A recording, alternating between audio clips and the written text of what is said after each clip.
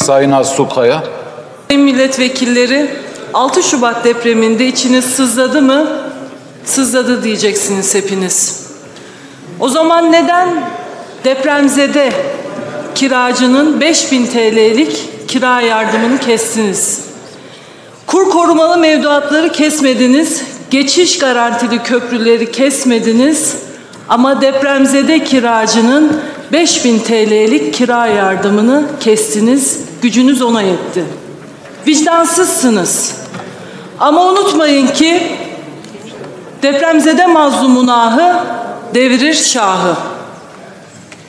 Teşekkür ederim.